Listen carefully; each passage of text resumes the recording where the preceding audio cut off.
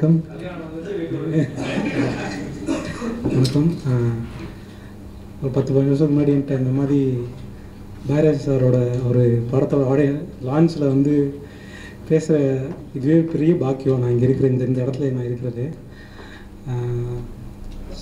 Sir வந்து இப்போ ஒரு வயசான ஸ்டேஜில் வாய்ஸ்னால் ரொம்ப ஒரு மா ஒரு செழுமையான ஸ்டேஜில் இருக்க அவரோட தா சில தாட் ஒன்று அன்றைக்கி பேசினார் ஒன்று சார் வந்து எப்படி எதுக்குமே இறப்பு இல்லை? எது ஒரு ஃபார்ம் மாறிட்டே இருக்கு அப்படின்னு ஒரு லா அவர் அவர் பேசினது வந்து ஒரு சயின்ஸாக ஒரு லாவாக இருக்குது பட் அவர் கேஷுவலாக வந்து ஒரு இன்சைட்டாக அவர் சொன்னார்.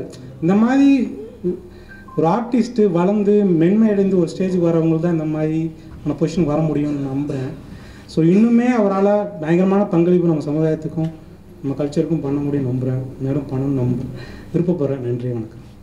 எல்லாருக்கும் வணக்கம். பாரதி ராஜா அப்படின்னாலே மண் வாசனை தான் எல்லாருக்கும் வரும் அடுத்து பெண்மையான காதலை வெளிப்படுத்துவார்னு எல்லாருக்கும் தெரியும். ஓம் பொறுத்த வரைக்கும் வெளிமண்ணில் ஒரு மென்மையான காதலை வெளிப்படுத்திருக்காருன்னு தோணுது. எனக்கு இதில் பிடிச்சதே என்ன நடனம் கட்டினாலும் அந்த செலம் சுத்தம் தான் எனக்கு பிடிச்சிருக்கு. அங்கே தான் ஒரிஜினல் தெரிஞ்சுது எனக்கு. சித்தரா சார் சொன்ன மாதிரி இந்த வயசுலேயும் இந்த வயசு இல்லை இந்த இளமையிலையும் வயசுனா எழுபது வயசு மட்டும் இல்லை இருபது வயசு வயசு தான் இந்த இளமையிலையும் இவ்வளவு சுறுசுறுப்பாக இன்றைக்கும் இன்னமும் அந்த சினிமாவை நேசிச்சுட்டு இருக்குது. சந்தோஷமாக இருக்குது நான் இங்கே வந்தது ட்ரெயிலர் பார்க்கல அவர் ஆசிர்வாதம் அவங்க தான் ட்ரெயிலர் பார்த்தது ட்ரெயின் ரொம்ப நல்லா இருக்குது இந்த படம் மிக மிகப்பெரிய வெற்றியடைய வாழ்த்துக்கு நன்றி வணக்கம். அனைவருக்கும் வணக்கம்.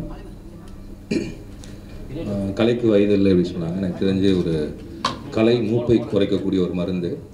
அஹ் சாட்டி வந்து பார்த்துருக்கேன். இந்த லாஸ்ட் டே வரைக்கும் ஷூட்டில் இருக்கிறவங்களுடைய ஒரு எழுபத்தேழு வயசுனா எனக்கு தெரிஞ்சு காலையில் டெய்லி ரெண்டு மணி நேரம் இன்னும் நடந்துட்டு இருக்காரு. ஸோ எனக்கு நான் இவர்கிட்ட இருந்து கற்றுட்டு இருந்தேன்னா கலை என்பது மூப்பை குறைக்கக்கூடியது கலை இளைஞராக வைத்திருக்கக்கூடியது. தமிழில் கரெக்டான வார்த்தை சொல்கிறாருன்னா அந்த வயதுக்கு வந்து பேர் இளம் ஆண். அதுதான் வந்து மூப்புக்கு சொல்லக்கூடிய வார்த்தை. அப்படி ஒரு பேர் இளம் ஆணாக இருக்கணும்னா ஒரு கலைஞனாக இருந்தால் தான் இருக்க முடியுங்கிறதுக்கான சான்று தான் நான் அந்த ஒரு பெரிய டைரக்டர் ஆக்டர்லாம் நான் சொல்ல வேண்டியதில்லை நான் முக்கியமான அவர்கிட்ட இருந்து நான் அப்சர்வ் பண்ணது இல்லை கற்றுக்கிட்டது என்னென்னா தமிழ் சினிமாவில் பாராட்ட தெரிந்த ஒரு கலைஞர்.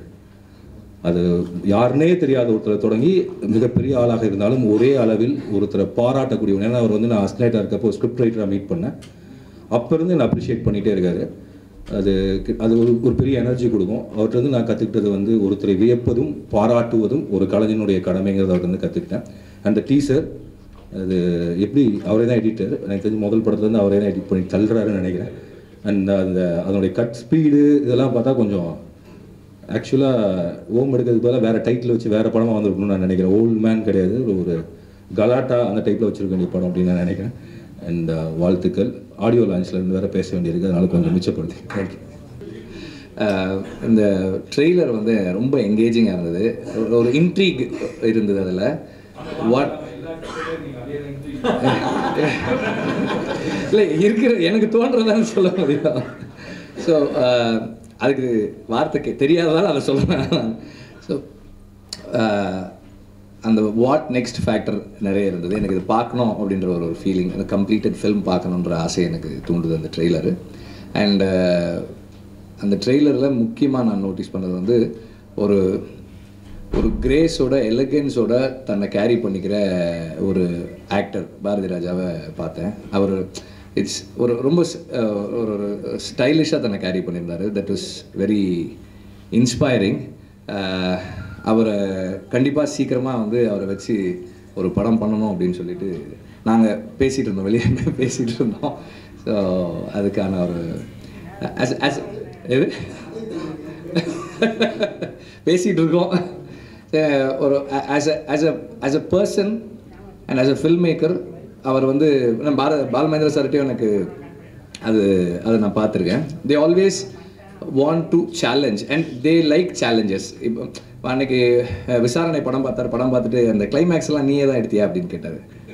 ஆமாம் சார் நான் தான் எடுத்தேன் அப்படின்னேன் கொஞ்ச நேரம் அமைதியாக உட்காந்துருந்தாரு இதை விட ஒரு பெட்டரான ஒரு ஒர்க் பண்ணிவிட்டு நான் வந்து இந்த படத்தை பற்றி பேசுகிறேன் அப்படின்னு போயிட்டாரு. ஸோ அந்த that that spirit to challenge and compete that is keeping them all young at the same time Ram சொன்ன மாதிரி ஒருத்தரை அப்ரிஷியேட் பண்ணுறதுக்கு அல்லது uh, பிடிச்ச விஷயத்த சொல்கிறதுக்கும் பிடிக்காத விஷயத்த சொல்கிறதுக்கும் அவர் தயங்குறதே இல்லை. எனக்கு uh, இப்போ கொஞ்ச நாளாக தான் அவரோட பர்சனலாக பேச பேசி பழகுறதுக்கான சூழல் கிடச்சிருக்கு. எனக்கு ஆன் அ பர்சனல் லெவல் எனக்கு பாலமேந்திரா சார் இல்லாத அந்த குறை வந்து பாரதிராஜ் சாரோட பேசும்போது எனக்கு I'm I'm feeling complete that's something எனக்கு பர்சனலாக ரொம்ப ரொம்ப முக்கியமான ஒரு ஒரு இதாக இருக்குது thank you sir thank you for being there as in in space of my mentor thank you